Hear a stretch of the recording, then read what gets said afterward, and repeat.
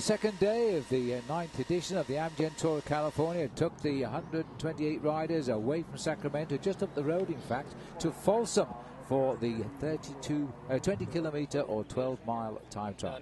A famous prison here, once, oh, I guess, made famous by Johnny Cash uh, in Folsom itself, and the race basing itself in the historic old town.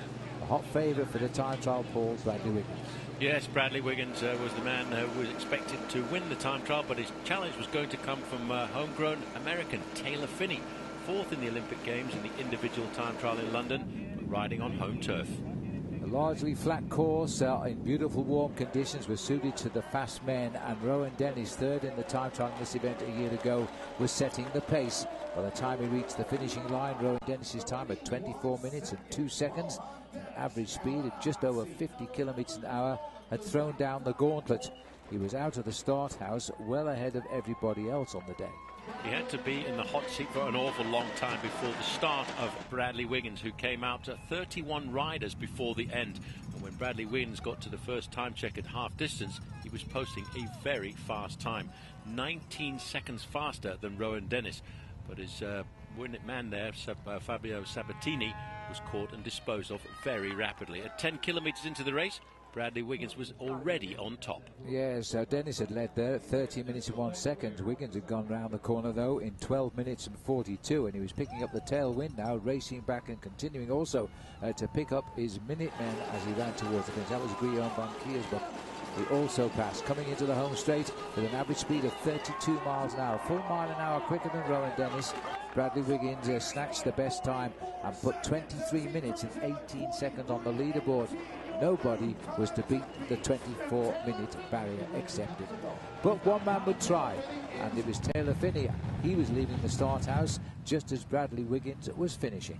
A specialist in the individual time trial, a powerhouse. When he got to the turn, though, the clock was indicating he was a long way down because he went through there with the third fastest time. The question was, could he pull it back on the running towards the line? Yes, and he couldn't make up the 32 seconds. He lost, in fact, he lost a further 20 seconds on the return journey with that tailwind, but he would still slot in on the podium in third place. The last man to go of the field was yesterday's winner in Sacramento, Mark Cavendish. But he's a sprinter, although he has won time trials before in his career. But today it was to just race, conserve his strength for the road that lies ahead. Yes, well, for a sprinter riding at almost 30 miles an hour was not a bad performance by the man who won the opening time trial. But this race gave us a brand new leader. Bradley Wiggins, or Sir Bradley Wiggins as we should call him, is now the leader of the Amgen Tour of California. And tomorrow, with a mountain top finish, uh, Bradley Wiggins knows he's going to have his work cut out. But he'll keep looking at the overall and seeing just what sort of time gap he has made over the field with a superlative ride in the time trial today the Olympic champion like on top in Folsom ahead of Rohan Dennis and Taylor Phinney. So there's confirmation of the overall situation now. Wiggins leads by 44 seconds over Rohan Dennis, 52 seconds over Taylor Phinney. And the surprise of the day, Eloy Teruel, a new Spanish rider on the Jamis Hagens Berman team in fourth, and Jess Sergent in fifth. Top 10 completed by the American national champion there. He's looking though for 1 minute 28 to take the jersey off Wiggins.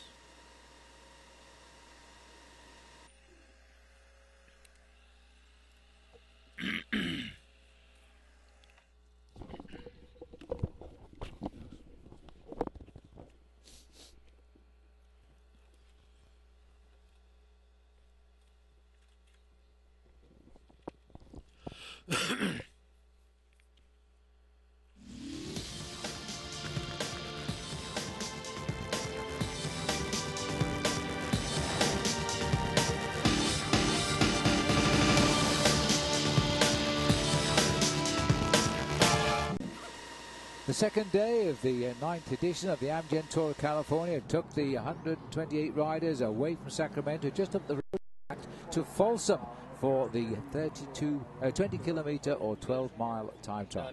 A famous prison here, once, oh, I guess, made famous by Johnny Cash uh, in Folsom itself, and the race basing itself in the historic old town.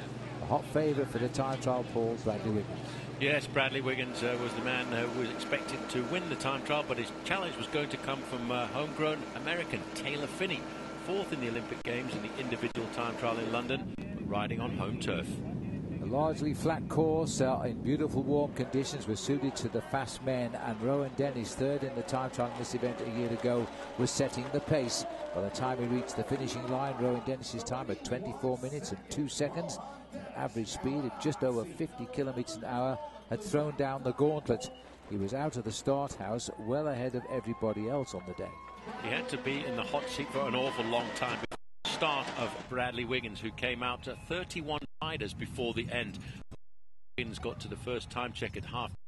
He was posting a very fast time, 19 seconds faster than Rohan Dennis.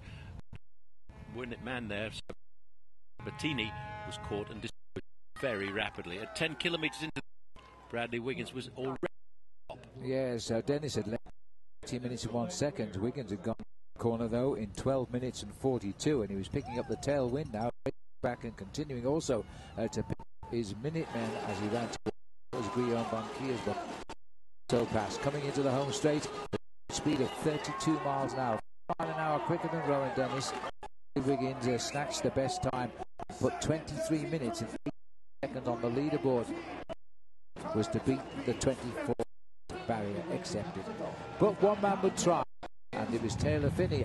He was leaving the start house just as Bradley Wiggins was. A specialist in the individual, a powerhouse. When he got to the turn, though, the clock indicating he was a long way through there with the third fastest was. Could he pull it back on the running line? Yes, and he couldn't make up the 32 seconds. He lost the 20 seconds on the return that tailwind, but he would still sit in on the podium in the last man to go of the field was yesterday's winner, Mark Cavendish. Although he has won time trials in his career, but today just race, conserve for the road that lies ahead. Yes, well, for a sprinter riding at almost 30 miles an hour was not a bad performance.